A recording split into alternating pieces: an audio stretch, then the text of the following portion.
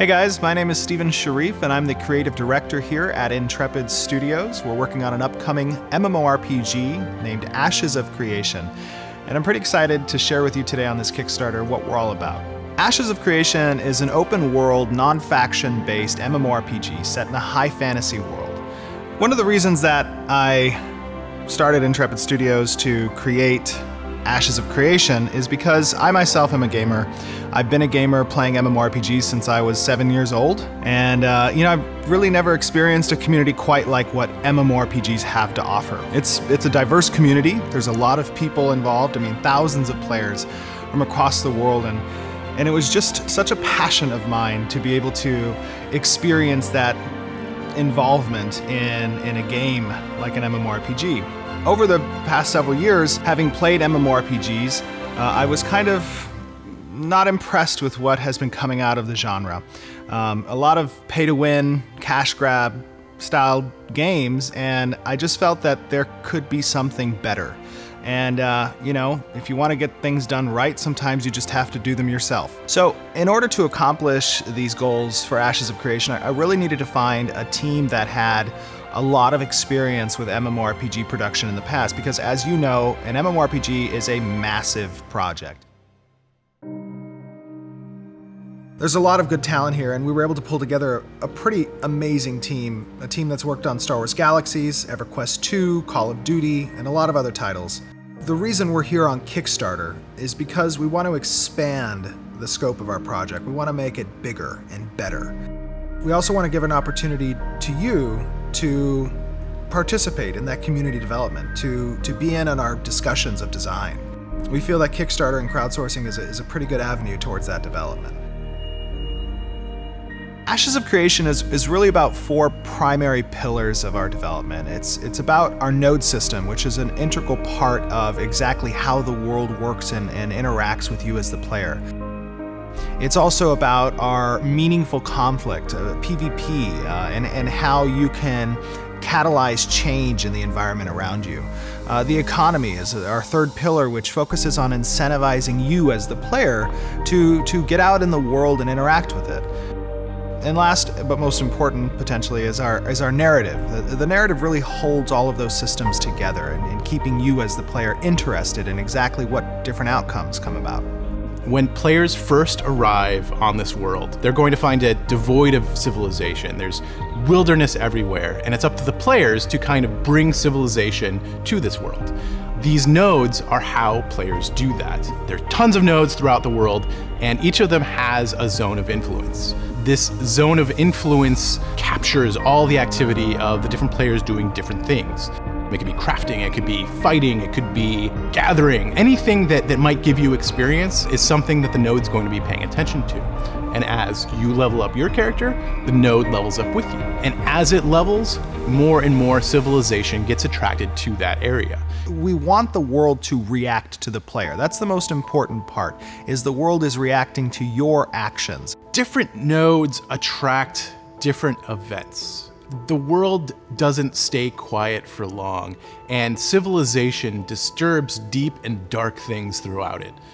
A city that grows up on the side of a mountain um, might dig a little bit too deep and might disturb the things that are below. And that might include like a, a giant dragon that uh, erupts with a volcano and uh, lays down waste to that node that developed there. Um, and that's something that wouldn't happen any other place. That's, that's, a, that's an event that's unique to that particular node at that particular time. And because of that, like players are going to experience this game very differently depending on, on how they build it.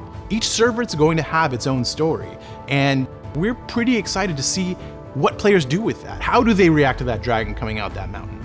Do they pack up their bags and move? Or do they decide to, to fight it, to to, to gather all of their friends and, and take down this monster because this is their home. So that's what differentiates our game from most others. It reacts to what the players do. It reacts to, to the player's decision.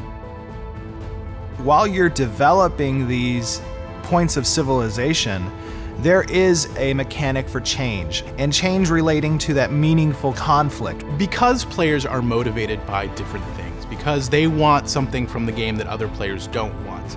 Um, that's going to cause people to butt heads. Different players are going to want different experiences, and the conflict between the two of them will create a, a bigger and better thing. Out of strife comes rebirth, and, and that's a core symbol, it's a core theme that occurs throughout the game our castle system, our, our sieges against nodes, the caravan system, uh, battlegrounds that exist, guild wars. We want there to be a meaning to this, this conflict. We want players to actually have some skin in the game when it comes to participating in PvP. If you own a home in a node and you don't want to see that home destroyed, you need to defend that city risk versus reward is what gives you that adrenaline. It gives you that that meaning to to participate. So, what drives you as a player in the game? Uh, for a lot of people, it's the economy, and that's why it's our third pillar. We, we really want the economy to incentivize you to interact with other players, to get out there and get resources to develop the world. We've regionalized our marketplaces, we've regionalized our warehouses. Uh, it's not just one global auction house like a lot of games kind of throws the economy to the side. I wanted to emphasize economy. One major feature in our economy that differs from most fantasy style MMOs is that we're not approaching it from a global scale. Rather, we're trying to carve the world up into regions and make each one focus independently, while of course at the same time working together. The global auction house isn't something that you're going to find in our game at the early stages or maybe ever. Rather, you're going to have to go to a town, you're going to have to buy, sell, or gather whatever you want. What this creates is a competitive advantage, much like we have in the real world. Some towns, some areas are going to be better at certain things, some are going to be worse at some things. But the important part is that you get to play a role in who's better at what and who's worse at what. And if you want to be better at something, we're giving you the opportunity to become better at whatever you want. Creating those regional marketplaces, those regional warehouses, we've incentivized the transit of goods. If you want to create local marketplaces or, or you want to create a local economy, you can do so because that mithril mine is nearby, um, you know, and it's not found somewhere else. The caravan system is what allows you to transit goods to other marketplaces. The economy is usually something that happens in the background of other games, and uh, from day one, we knew that the economy was going to be something really important to us. The fourth pillar in Ashes of Creation is our narrative, the story, and how it relates to you, both as an individual and as a member of the greater community. In Ashes of Creation, um, we've got uh, three main ways that we're going to be telling the story.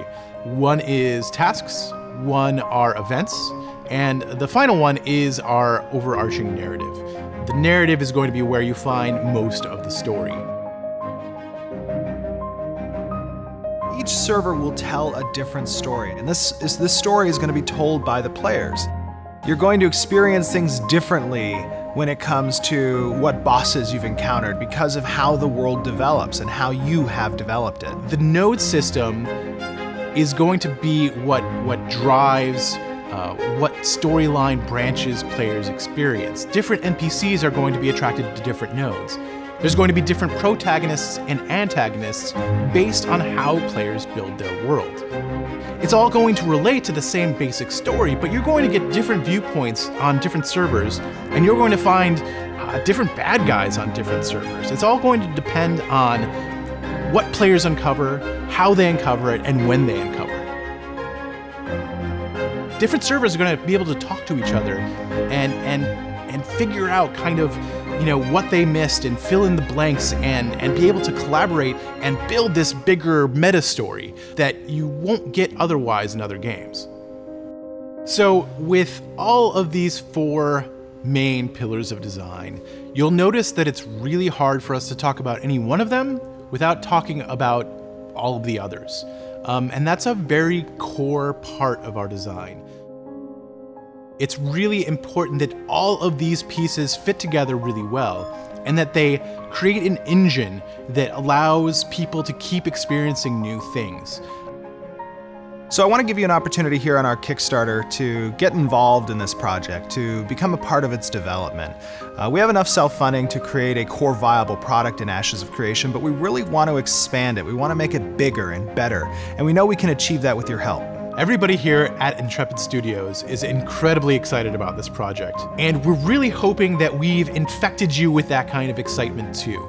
We want to get this thing done, and we want to include everybody to be a part of it. This is going to be a different game, and this is going to change the genre. So if you're as excited as we are, uh, let's do this thing. Let's let's make this thing happen because we can only do it with you. I've been on the other side of that screen. I've seen companies come to Kickstarter and, and promise the world and either underdeliver or just don't deliver at all. But the reality is, we're not those people. I brought together a team of industry veterans who've spent over 40 years combined working on MMORPGs and have created some pretty amazing titles. That's what we're going to do here with Ashes of Creation. We're going to create an amazing game, a game that you can be proud of.